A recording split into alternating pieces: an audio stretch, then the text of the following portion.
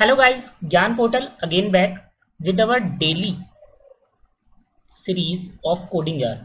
और आज अगर हम बात करें तो यार एक हम न्यूज़ कॉन्सेप्ट को करने वाले हैं, जैसे यार बहुत सारे लोग कोडिंग क्वेश्चंस कोडिंग इंटरव्यूज़ में अच्छा परफॉर्म करना चाहते हैं। बट वो कैसे परफॉर्म कर सकते हैं, उसके लिए हमने यार ये सीरीज़ निकाली है, जिसमें हम टी एल एलिमिनेटर क्वेश्चंस को लेंगे। जिसमें हमारी टाइम लिमिट एक्सीड मोस्टली आ जाते हैं और ये क्वेश्चंस हमें इंटरव्यू राउंड में एक बेसिक कॉन्सेप्ट को बिल्ड करने में हमें हेल्प करेंगे। तो यार, जो हमने क्वेश्चन उठाया है, वो उठाया हमने कोड फोर्सेस का 800 सीरीज़ का, जो है हमारी हेलमस बॉक्स आप जाके सर्च भी कर सकते हैं। हम बेसिक से लेके हार्ड लेवल तक जाएँगे और जिससे आपको क्वेश्चंस कैसे आपको डिबक करना है सॉल्व करना है, वो भी आपको पता लगता रहेगा। तो यार, कहीं मत जाइए और जल्दी से चैनल को सब्सक्राइब कर लीजिए। ज्ञान पोर्टल के साथ। तो क्वेश्चन को समझते हैं सबसे पहले कि क्या कह रहा है कि Theofanis is busy after his last context as now he deliver many halloumis all over the world मतलब कुछ होगा यार। एंड वो स्टोर कर रहा है उन्हें एन बॉक्सेस में।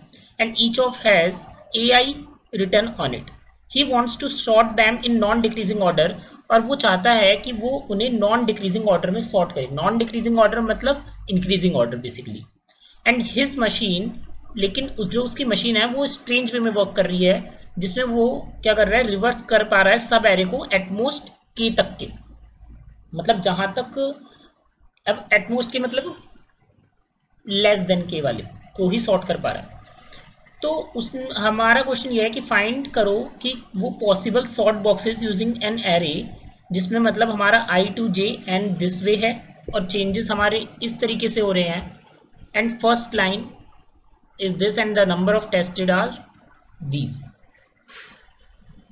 ठीक है? तो यार, इस तरीके के क्वेश्चन बहुत आते हैं। और जैसे इसमें लिखा हुआ है कि अगर प्रिंट यस करो, अगर वो सॉर्टेड हो जाते हैं और प्रिंट नो करो, अदर अगर वो सॉर्टेड नहीं हो पाते हैं। और ये हमें जो है, क्या दे रखा है? इनपुट दे रखा है।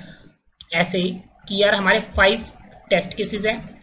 थ्री हमारा क्या है? थ्री हमारा बेसिकली यार ये थ्री हमारा एन है। और मतलब एरे का साइज़ और के हमारा कि एटमोस्ट हम कितने को सॉर्ट कर सकते हैं, कितने नंबर ऑफ़ डिजिट्स को हम सॉर्ट कर सकते हैं, और ये हमारा एरे की बना है। ठीक है गाइस अब इसमें क्या कर रखा है? In first two cases boxes are already sorted non decreasing order third case में हमें रिवर्स हमने होल कर दिया बट फोर्थ केस में we can not reverse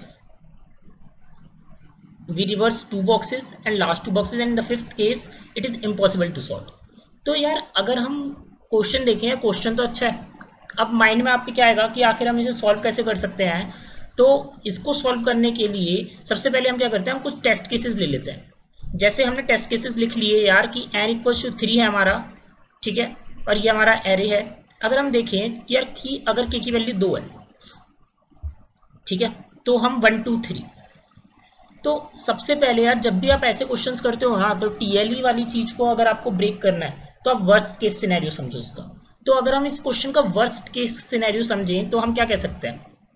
worst case scenario हो सकता है, जैसे मैं ले लेता हूँ एक एन है हमारा फोर एन है हमारा फोर अब एन फोर पे अगर मैं कहूँ वर्सेस केस सिनेरियो में एटमोस्ट के की वैल्यू अगर मैं क्या ले लेता हूँ? अगर मैक्सिमम होगा तो मैक्सिमम से तो हमें दिक्कत नहीं हम रिवर्स कर सकते हैं इजिली कि अगर तीन होगा तो हम दो वाला कर लेंगे तो उसमें तो कोई दिक्कत नहीं। बट अगर मैं कहूँ कि वर्ष के सिनेरियो में के की वैल्यू वन है और एन हमारा फोर है।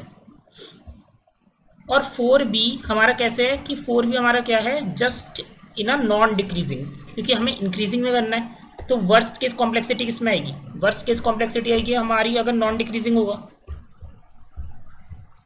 ठीक है? तो एटलीस्ट इसको करने के लिए हमें अगर एन फोर है तो हमें थ्री टाइम्स करना ही पड़ेगा। तो वर्स्ट केस कॉम्प्लेक्सिटी हमारी आएगी। राइट वर्स्ट केस कॉम्प्लेक्सिटी जाएगी तो अगर हमारा के वन है डज इट पॉसिबल कि हम सॉर्ट कर पाएँगे एरे को?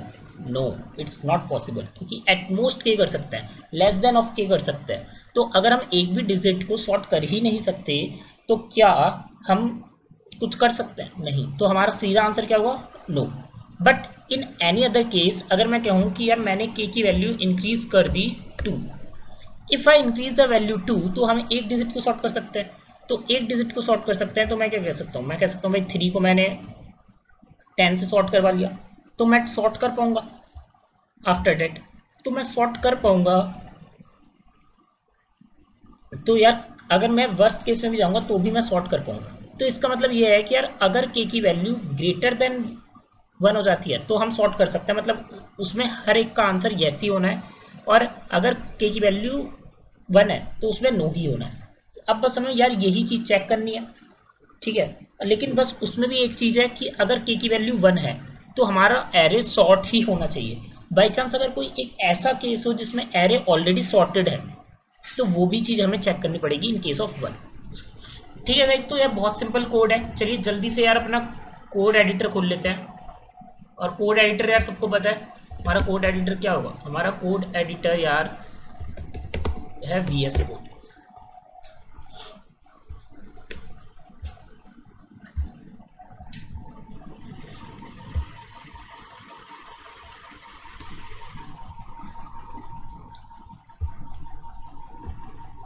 तो इसमें मैं क्या डाल लेता हूँ? हेलोमिनियस बॉक्सेस डाल लेता हूँ मैं।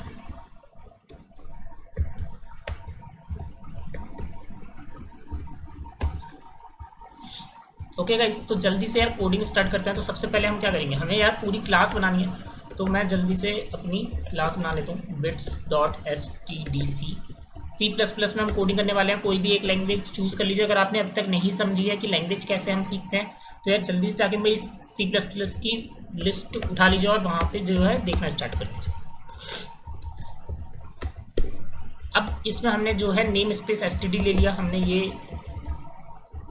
और अब हम क्या करेंगे टेस्ट केसेस। हम हमेशा टेस्ट केसेस वर्क करेंगे तो हमें क्या करना पड़ेगा, हमें सी एन टी लेना पड़ेगा। T equals to test case then एक वाइल लूप लगाया, जिसमें मैंने T greater than zero and that our T minus minus next is our N and K and हमने सी एन एंड करा C N के करा। और इन दोनों को लेने के बाद हमने क्या बनाया? हमने एक बनाया अपना वेक्टर जल्दी से।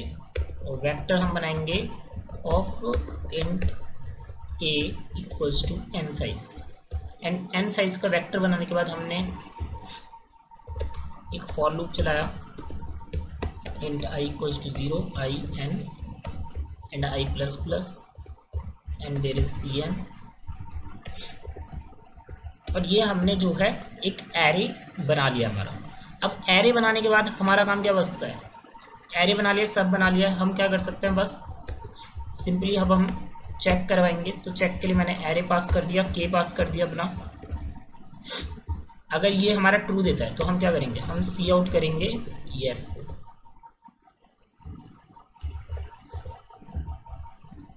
and if it is not then C out no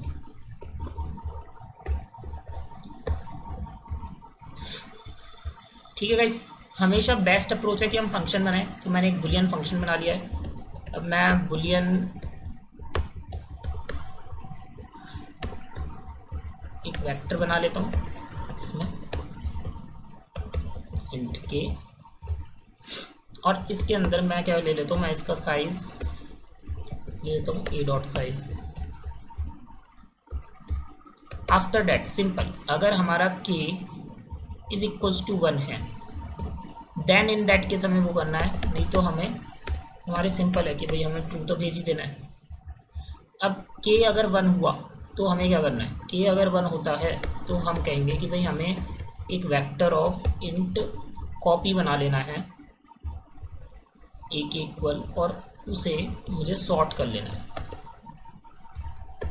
Copy dot begin in copy dot end and then हमने फिर क्या चलाया हमने अपना